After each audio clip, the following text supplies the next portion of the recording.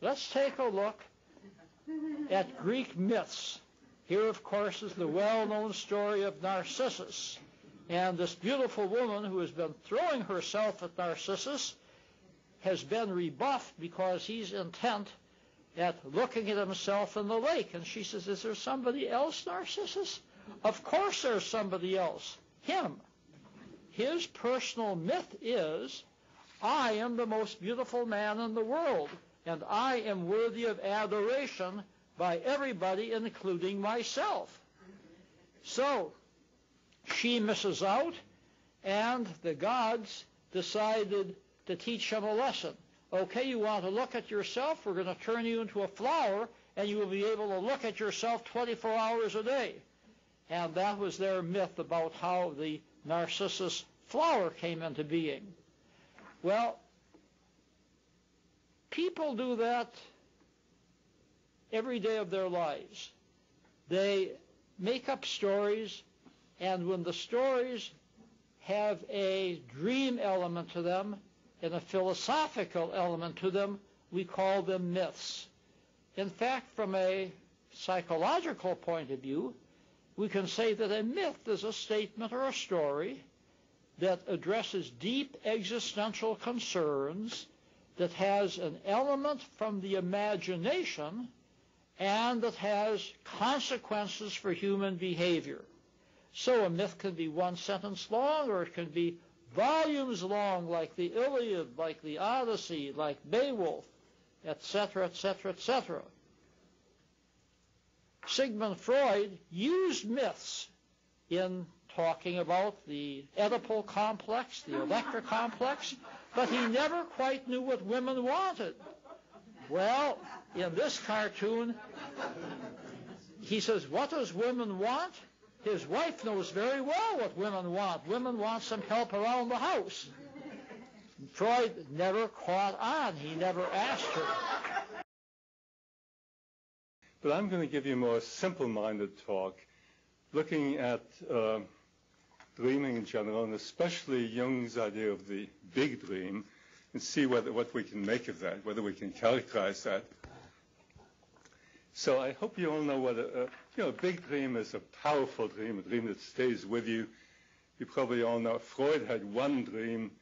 It involved his uh, bunch of bird-beaked men carrying his mother's body. It wasn't clear whether she was dead or alive. Stayed with him his whole life. Jung, as you know, had his one dream about descending different levels and finding a huge phallic pillar in the basement.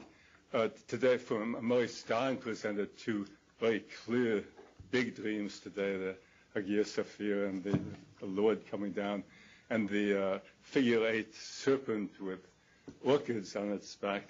So well, wonderful big dreams. Those are dreams that we remember. And in fact, uh, both Murray and Margaret remembered their patients' dreams for years. I've, I've had a few dreams too that have stuck with me. Uh, so, we, so what, what differentiates a big dream from an ordinary dream? And I have to put this in a, well, I, I can get ahead a little bit and say, for me at least, discussing my own and my colleagues' dreams, it seemed to me that, that the power of the imagery was very important, but I want to get to some actual research, which is my research on uh, well, the nature and functions of dreaming, which for me is the, especially the central image. First is, okay, what does Jung have to say about the self? Basically, as you know more than I, uh, Jung's basic idea is that the conscious and the unconscious complement each other. And as we will see, and as Ernest pointed out, there's a continuum from focused, awake, daydreaming, sleep, and dreaming.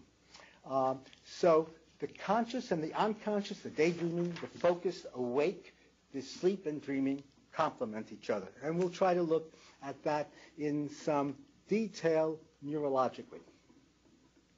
And to Jung, our self is not our ego. It's not who we thought we were. Our self is rather who we really are. The known and the unknown. The integrated and he doesn't say what is not integrated, but the integrated and what has yet to be integrated. I like that. Um, he continues, our perception of ourselves is our ego, but our true self is a great deal more. The ego is the center of consciousness, whereas the self is the center of our total personality. It includes consciousness, unconsciousness, and the ego. The self is realized as the product of individuation, process by which we integrate our personality, the conscious, the unconscious, and the ego. One of the things that uh, I'm going to be talking about is a little bit of the brain basis for much of what we've already heard. The uh, and I, I, don't want to be too reductionist here, but there are some amazing um, studies that have come out just in the last 10 years, well, in the last 15 years, um, with the neurology of dreaming, particularly in the REM state, uh, uh, and you know the REM state functioning of the brain but also in just the basic waking state neurology of those centers that have found to been active in the brain state.